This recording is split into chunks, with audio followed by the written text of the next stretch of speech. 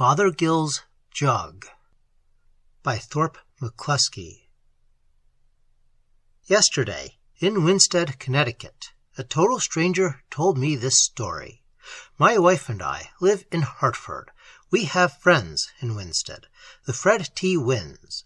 The resemblance between the city and the family name is pure coincidence, and it was at their home that the narrative which follows was related to me. It seems significant to me that no one in Winsted knew that we were coming there yesterday. We ourselves didn't know. Yesterday was a Saturday, a beautiful day, and about ten o'clock in the morning, Ruth, my wife, suggested that we go driving.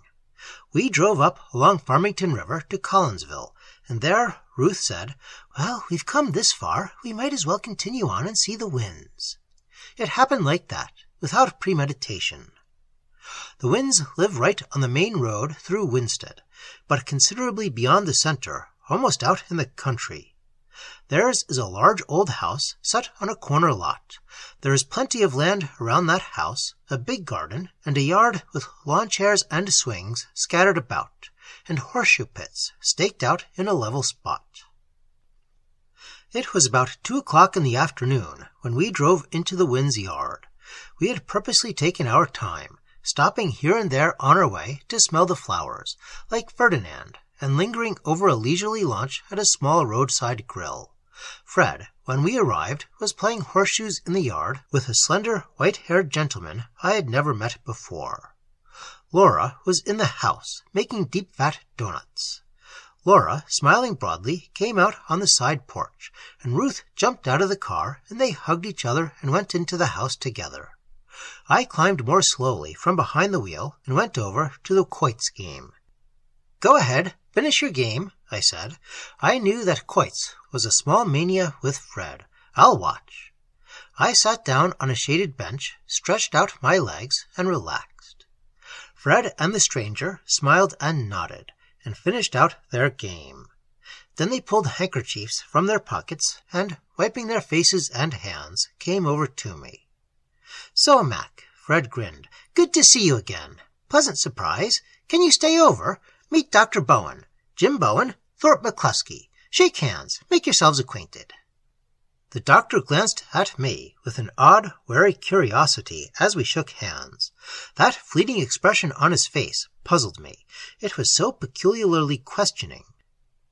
Then it passed, and we were tossing genial remarks back and forth.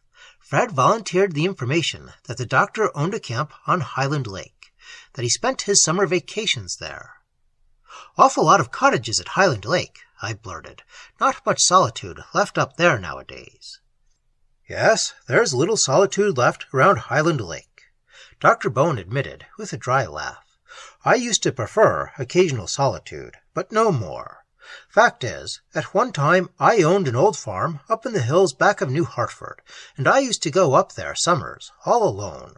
I'm a bachelor, you know, but I sold it in 1928 and built a place on the lake. I'm growing more gregarious with the years, I guess.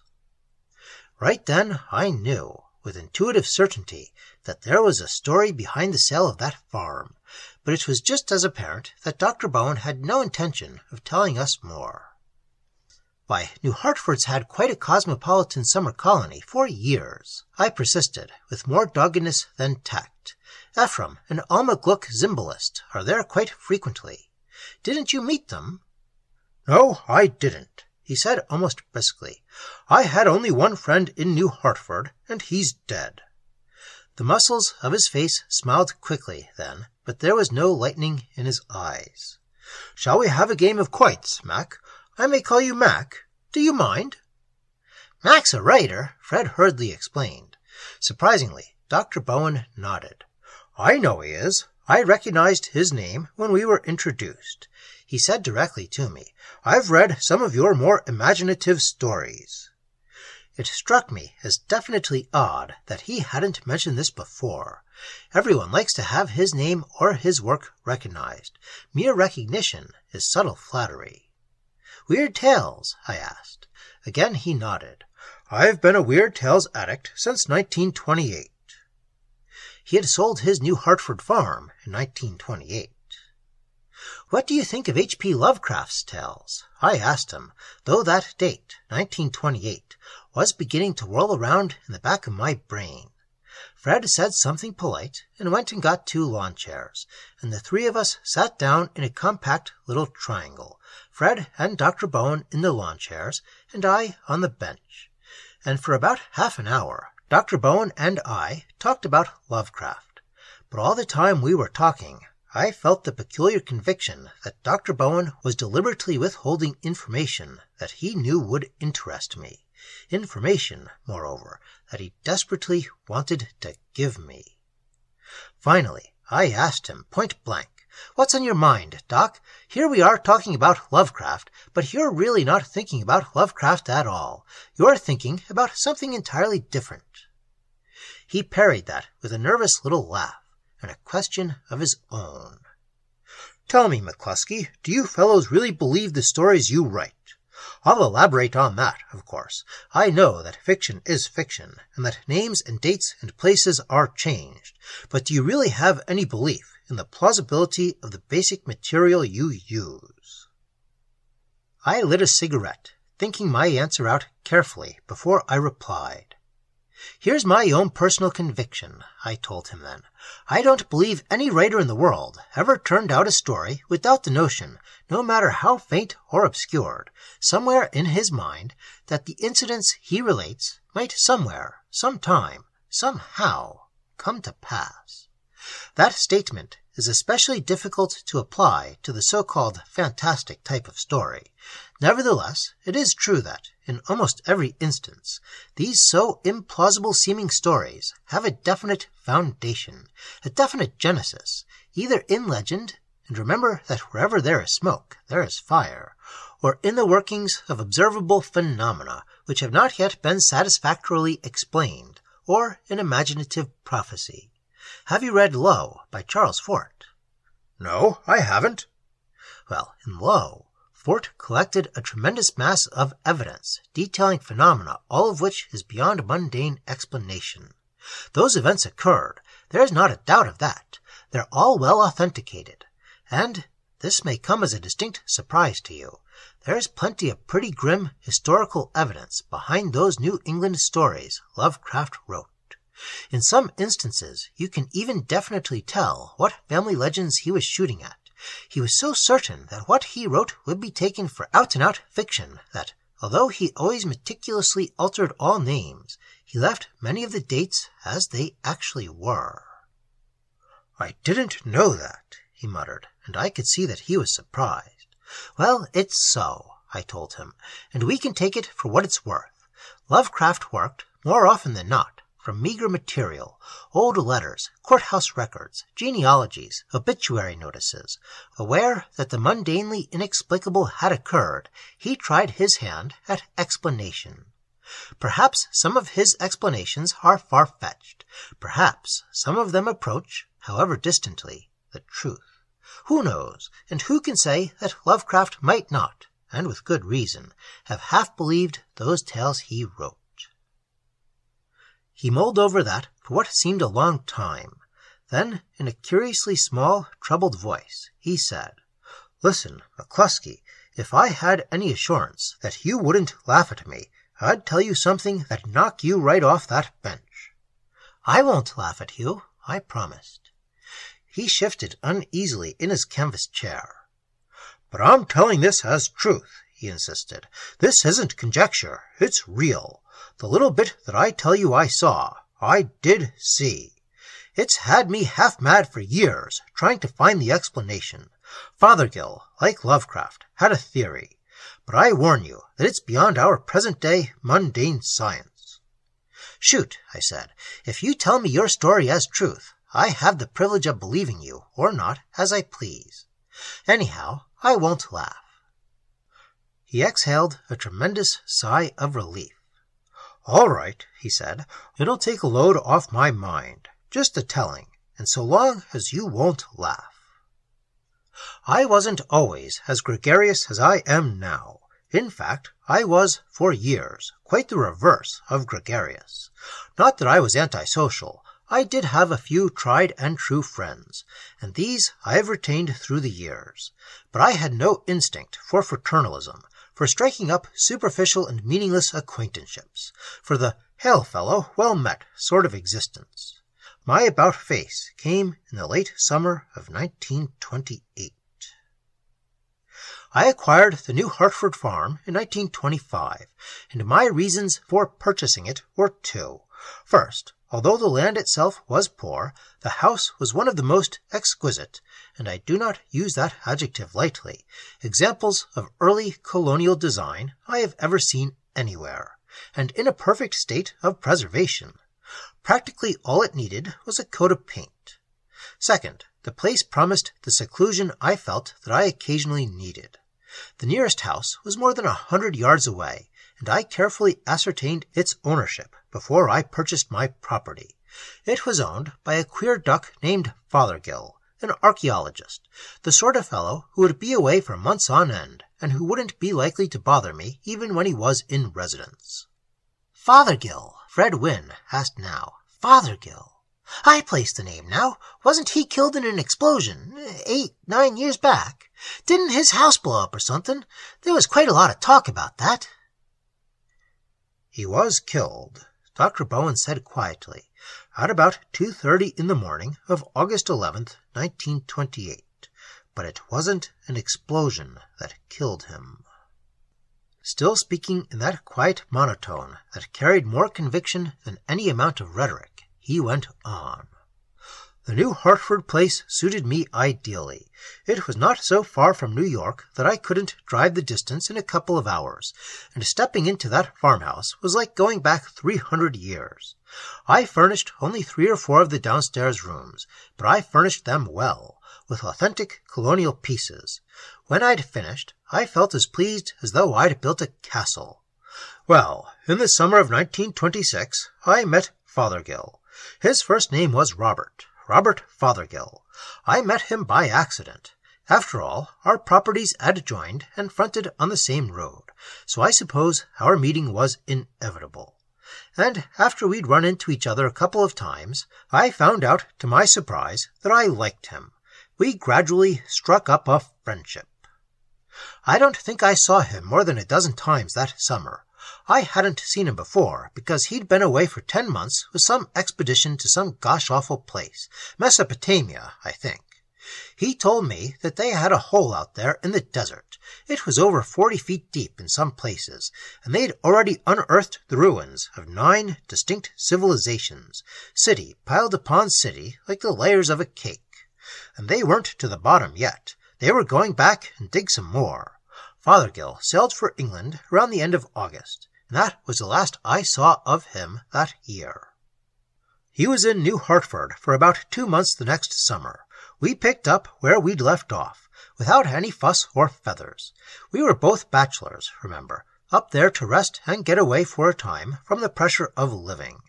We each did our own cooking, and we got into the habit of taking our evening meals together. He'd come over and have supper with me one night, and I'd return the visit the next. It saved labor. He showed me a lot of pictures, that summer, of their camp, their excavations, and what not. They'd done a large amount of digging. They'd plowed up a piece of desert you couldn't put into a forty acre lot. And, as I told you, in some places they'd gone down pretty deep, forty feet or more. He showed me a lot of photographs of brick walls. Those old cities over in Asia Minor were mostly built of brick, you know. And pieces of pottery, and inscribed tiles, and statuary. Oh, they were digging up a tremendous quantity of stuff, all prehistoric. The city down at the bottom of those forty foot holes was forgotten before the pyramids were built. Well, he went away again that year at along about the same time, around the end of August, and he showed up in New Hartford again around the middle of the following July, July 1928. He was later than usual in getting home that year. He'd had to stop in London and catch up on a lot of desk work. He telephoned me on the day he arrived. As much as I disliked the idea of having a telephone at the farm, I'd had one installed so that I'd always be accessible in emergency. That's part of the hell of being a doctor. And asked me to come over. I had just finished lunch. It was about one o'clock in the afternoon, and I had planned to get in three or four hours' work on a case history I was writing up, so I suggested meeting for dinner. He was insistent, in a voice so thick and strange that I thought he must be ill. Also, he hadn't dropped in casually. He had telephoned. That was odd. I went to his house at once. Obviously, he had called me at almost the moment he'd set foot inside the house. He had not changed from the trousers of the blue serge suit he had worn up from New York. The coat and vest and a battleship gray necktie lay on the hall table. The place was a mess. He'd had the house opened and cleaned, and everything turned on, but the hall was still jammed with trunks and boxes of books and crates of God knows what. I noticed that he had already opened one of the crates and removed its contents. Come into the living room, he said abruptly, as soon as we'd shaken hands. I've the devil's own wine jug in there, and I want to show it to you. He grasped my arm and actually tried to pull me along. I'd got a whiff of his breath as he greeted me, and it was enough to knock a man down. What's the matter with you? I said, as I followed him into the living room. You smell like a two-legged brewery. You're drunk. He looked me squarely in the eye, and I saw that, Though his face was flushed and his eyes were bloodshot, he was actually in complete command of his faculties. The liquor he had drunk, and obviously he had been drinking for days, had merely bolstered him up. Of course, I had no way of knowing, then, why his nerves were so utterly shattered. Drunk, he repeated. Doc, I was never soberer in my life, and I've lapped up a quart of whiskey a day ever since we left Baghdad. Sit down. I sat down on a newly polished chair. Fothergill stood before the fireplace, looking at me. He seemed too nervous to relax. But why? I asked, perplexed. You never were a boozer. He kicked out his right foot savagely. That! And he swore a stream of indigo sulphurous profanity. That thing! My eyes followed his unorthodox gesture. He'd always had a lot of outlandish bric-a-brac cluttering up his living room. I suppose that is why I'd missed noticing the object directly I came into the room. I looked at it now. It was a crude, vase-shaped vessel of exceedingly primitive workmanship, and made, I assumed from its appearance, of unglazed, fire-baked clay. It stood about eighteen inches high, and its greatest circumference was at the throat. It was, in fact, just a jug, a plain, ordinary, though certainly very ancient receptacle for liquids. You've probably seen pictures, most likely in illustrated Bibles, of desert women carrying similar jugs on their heads or on their shoulders. I stared at the thing, and I can't say that I was particularly impressed. Look at the way it stopped up, Fothergill said suddenly. I got up from my chair and went over to the jug. I saw then that its neck had been sealed with the wax-like plug. I reached down and scratched the stuff with my fingernails. It was as hard as stone and of a yellowish gray color. It reminded me of petrified beeswax. Fothergill understood perfectly what I was thinking.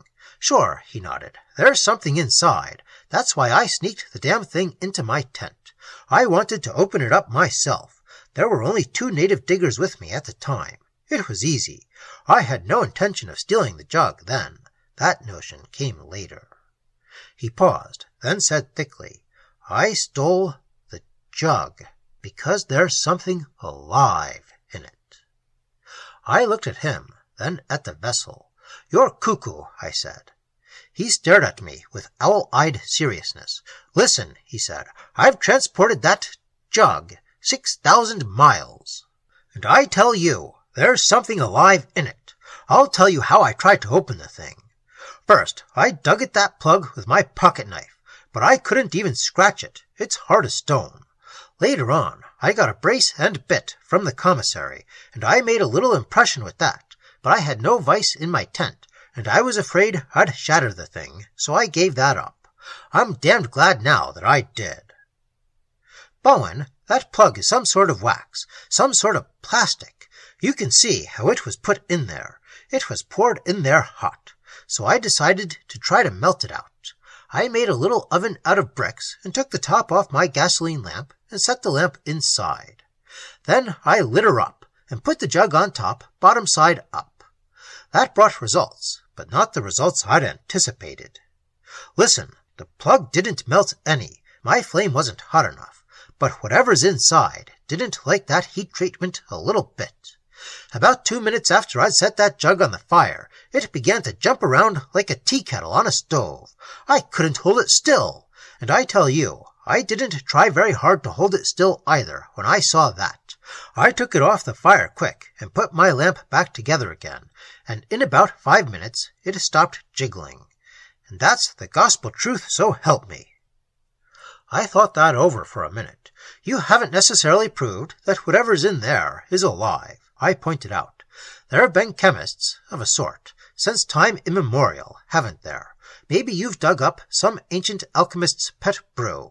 It's a wonder you weren't blown to blazes. He shook his head. The thing's alive, he reiterated stubbornly. I'll show you. He walked out into the hall, and I could hear him prying the boards off one of the crates. After a moment, he came back with a half dozen half-inch boards and a bundle of excelsior. He arranged those combustibles in the fireplace, put the ancient vessel on top, lit a match, and touched off the excelsior. A bright, hot flame that quickly singed our faces and drove us back from the fireplace sprang up at once. Watch the jug, Fothergill grunted. I watched all right. The vessel lay on its side in a bed of fire. As the excelsior burned away from beneath, it sank down between two blazing boards. It was certainly getting hot. Then that jug began to move. It moved in violent jerks, as though whatever was imprisoned inside was hurling itself again and again against the stone-like seal. And it moved purposefully in one direction. Jerk, jerk, jerk. Inch by inch, it shifted along the trough between the blazing boards until it slid with a thump down to the hot tiles. Then it began to roll on its circumference, quite swiftly, too, out toward the center of the room. When it was about ten feet from the fire, it stopped abruptly and decisively, as though the whole of its enigmatic contents had suddenly thrown their mass into one quick breaking movement. My God, Bowen, you never saw water boiling in a pot, or a mess of chemicals either, act like that. Fothergill groaned. You want a drink? I've got practically a full quart in my bag. I did want a drink, desperately, but I didn't want Fothergill to see how severely his demonstration had shaken me, and I wanted one of us, at least, to retain some semblance of sanity. The hardwood floor was beginning to scorch, so I quickly called Fothergill's attention to that. The thing's burning your floor. He looked at the jug, then at me, then back at the jug. I'll fix that, he said, and got the fire shovel from the wood bin and kicked the jug onto it. The floor was charred where the jug had lain. Fothergill walked over to the nearest chair, and, slumping into it heavily, sat staring at the charred spot on the floor.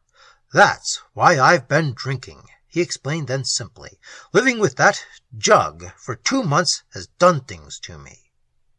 After a while, his gaze lifted to my face. Until that moment, I would never have believed that a man's eyes could carry such a concentration of mingled horror and fascination in them.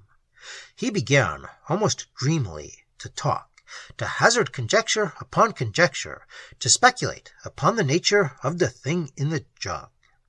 Bowen, he said, and I could see that look of fascinated horror deepening in his eyes. You've read the Arabian Nights, of course. You remember those tales of the jinn. He laughed jerkily. The thought has occurred to me that I might have one of those boys cooped up in that jug. Fantastic notion, eh? The jinn are supposed to have been both malevolent and benign. Let's hope that the fellow over there on the fire shovel, look at him jump, is of the latter variety. He might get out of his jug some day, and if I were in the vicinity, I'd prefer to have him in an amiable mood. He paused, and a moody grin twisted across his face. I guess I've aggravated him some with those toastings. He doesn't seem to like them. My conception of the jinn has always been that they were flame demons, I interrupted. It doesn't seem plausible that a little fire like yours could bother such an entity to any extent. Of course, just to keep the record clear, I want you to understand that I think you've got bats in your belfry. You'll probably be able, in time, to explain your Mexican jumping bean jug without any recourse to jinn, or Ifrits, or the Arabian Nights either. His moody grin returned. It may interest you to know, he continued dreamily, and I could see that he really didn't care whether I was there or not, that he would have gone on talking to himself, speculating, advancing and weighing various theories in his own mind, were I not there at all, that your notion of the jinn is pure Mohammedan superstition. Of course, any conception of flame creatures is nonsense, as untenable as Empedocles' theory of the elements, earth, air, fire, and water. In ancient Arabian belief, the jinn were quite different. True, they were volatile as smoke, but they were corporeal. You remember that they could be confined, even in a jug. The real jinn were not supernatural, they were merely creatures of such rarity that their purely natural attributes seemed to the Arabs to partake of the supernatural. All the demonology in the world had its origin in fact, Bowen. It's not impossible just because such creatures don't exist today, that there was on this earth at some time in the remote past a race of creatures possessing the ability to change their shape and distend their beings at will. Creatures which the early Arabs knew as the jinn. Good God! We have plants today that live wholly upon the moisture in the air and grow with tremendous rapidity too. Who can say with absolute certainty that the jinn did not once live upon this earth, and that they could not have been practically ageless, that there is no living jinn imprisoned in that jug there at this very moment?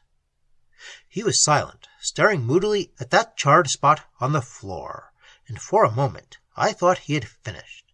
But then he added softly, Of course, there is the probability that the jinn were of extraterrestrial origin. There were never many of them, and the Arabs, God knows how, pretty well put the Indian sign on what few there were.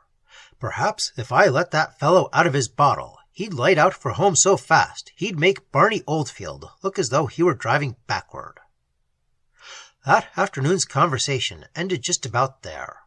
I got up, told him that he was a loony, and suggested with considerable acerbity if you're so damned curious about what's in that jug of yours, why don't you send it to a laboratory and have it opened? Oh, no, he said. I don't want it opened. I'm afraid of what might happen if whatever's in that jug got out. Besides, if anybody opens it, I'm going to open it myself. A good hot fire to soften up that plug. See, it began to run a little bit this afternoon. I snorted. My advice to you is Either have that thing opened by an expert, or take it out in the lot and bury it and forget about it. In any case, don't try to open it yourself. You might blow yourself up. I'm going back now. Come over for dinner tonight, eh? At seven. His voice followed me out the door. The thing wouldn't explode, Bowen. The jinn don't explode. They just grow. I put both hands over my ears and fled up the road.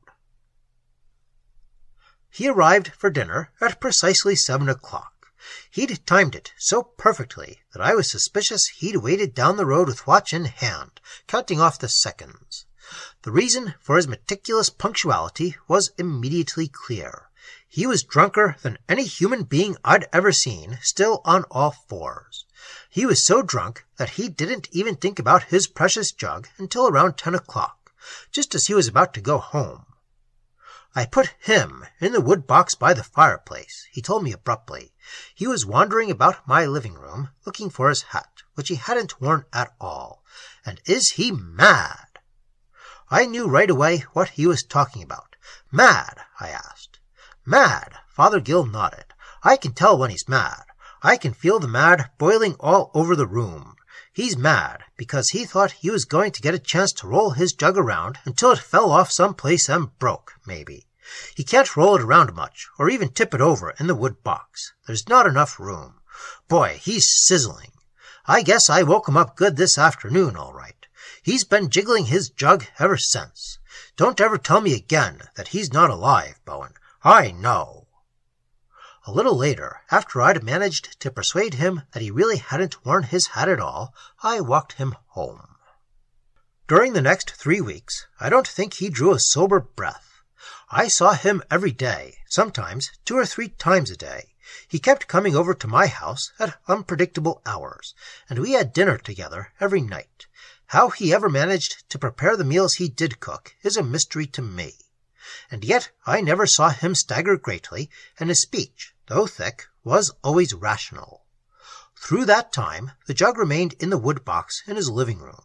Every time I came into his house I looked at it, but it always appeared pretty inanimate to me. I mentioned this several times. He's gone back to sleep. Fothergill on those occasions told me impatiently. The only thing that really seems to wake him up is a good scorching. Then he jigs around for five or six hours before he quiets down. I've been leaving him alone.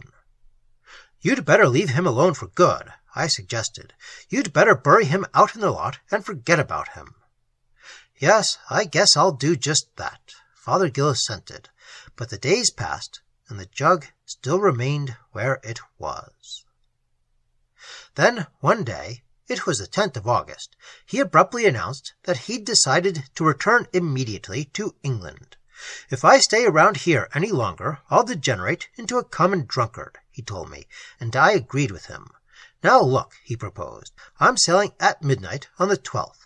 I've a case of champagne home. No bootleg stuff. You come over around seven tomorrow night, and we'll have a real bang-up farewell party. I accepted with genuine pleasure and considerable relief. I couldn't resist asking him, though, what are you going to do with that jug of yours?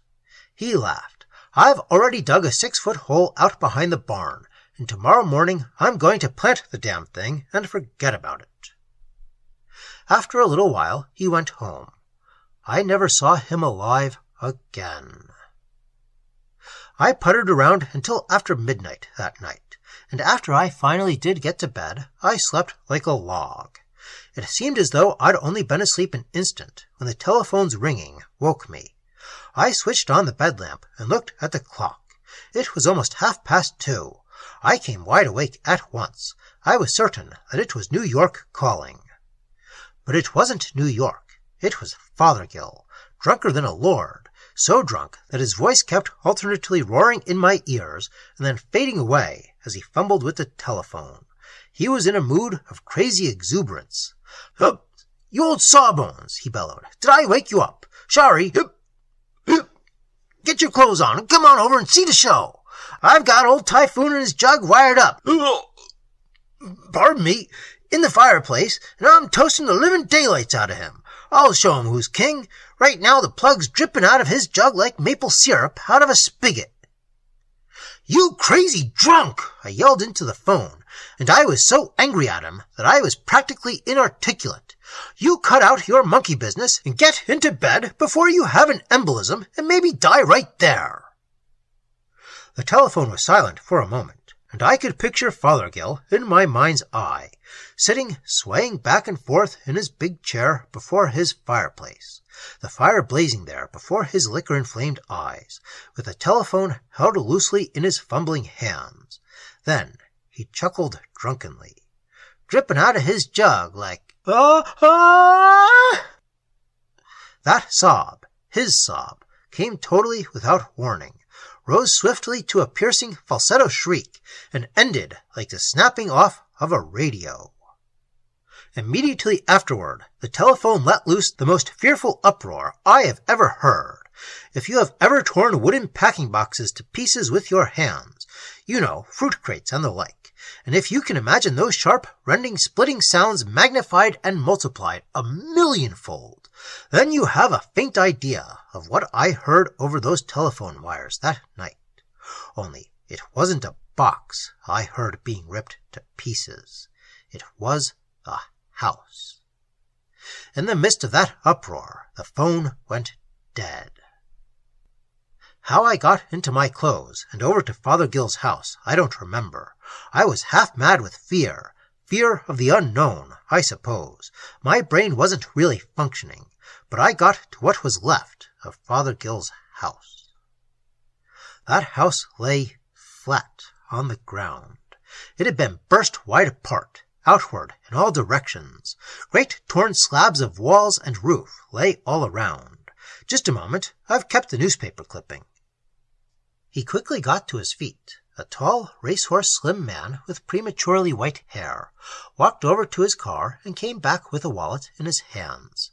He opened the wallet, extracted a worn and yellowing rectangle of newsprint and handed it to me. I took it gingerly. It was brittle, almost, as a long dried leaf, and read it aloud. Savant dies in mystery blast. New Hartford, Connecticut, August 11th. Robert B. Fothergill, 41, unmarried and an archaeologist of international repute, met instant death at about 2:30 a.m. today when an explosion of terrific violence and undetermined origin totally demolished his summer home on the Little River Road, two miles from this village. Fothergill's body was found by Dr. James Bowen of New York City, Fothergill's nearest neighbor and the first person to reach the scene. It had been hurled a distance of over 300 feet, and examination of the body by Sheriff Ward Donovan and Coroner Arthur White revealed that Fothergill had suffered multiple fractures of the arms and legs, a crushed chest, and a broken neck. Dr. Bowen revealed that he had been talking on the telephone with Fothergill at the approximate time the blast occurred, that the line abruptly went dead, and that, becoming alarmed, he dressed and walked to Fothergill's home and discovered that the tragedy had already occurred. He states that he heard no explosion, but rather a loud crackling sound. His statement is borne out by neighbors, who declared that the sound resembled a large box being broken open. Police are inclined to the theory that the blast itself may have been relatively soundless. Lena Hayes, night telephone operator here, confirmed Dr. Bowen's statement that Fothergill had called him immediately prior to the blast, and that the blast itself terminated the conversation. The telephone, torn from the wall by the force of the explosion, was still clutched in Fothergill's hands when he was found. State police are investigating. There was more, but nothing pertinent to this narrative. When I had finished reading the item, Dr. Bowen carefully returned it to his wallet. He had been standing as I read. Now he sat down again, and the three of us, oddly evading each other's direct gaze, stared at the triangle of green turf between our feet. Fred Winn began tapping his fingernails on the arm of his lawn chair. The clipping describes it pretty accurately, Dr. Bowen said suddenly. Fothergill was thrown 300 feet, well over 300 feet. His body was smashed and horribly bruised, but that reference to his neck being broken is an understatement. His neck had not only been broken, it had been wrung like a chicken's. He was lying flat on his chest when I found him, but his face was looking straight up at me. His eyes were wide open. His voice trailed off then strengthened again as he continued. Whatever manner of thing burst Fothergill's house that night like a cheese box, deliberately paused to wring his neck. And it did something else, too. It put out the fire. Remember Fothergill said that it hated fire. As it burst out of the house, it knocked that fireplace flat, and the walls too. But before that, it crushed out the fire. That's why the wreckage didn't burn. He stopped, then added heavily. Funny thing, the jug wasn't even smashed, and it was wired in the fireplace, just as Fothergill had said. The seal had melted out into the ashes, and it was empty. He sat looking down at the turf at his feet. He was silent for so long that I began to believe he had totally forgotten us. Then he smiled. Shall we play quoits? My muscles jumped from the sheer casual irrelevance of that question. There was a moment while I did not think at all. Then, in Ethel Barrymore's literal words, I asked uncertainly, That's all there is. There isn't any more. He seemed to hesitate. He rose slowly to his feet, and Fred and I, mechanically aping him, followed. We started towards the quoit pits. Yes, there's one thing more, he said, speaking with studied casualness as we walked toward the pits. But no one would believe this. I told you that I was the first person to reach the wreckage of Fothergill's home. Well, there were two large flower beds bordering the walk, one on each side. They were pretty well grown over with grass and weeds.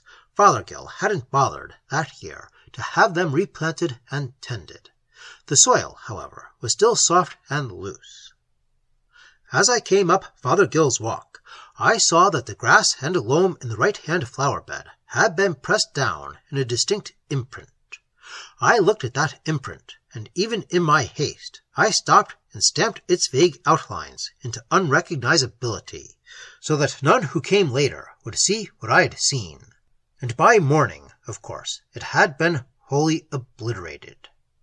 It was the imprint of the ball and toes of a three-toed foot, and it was bigger than Fothergill's house.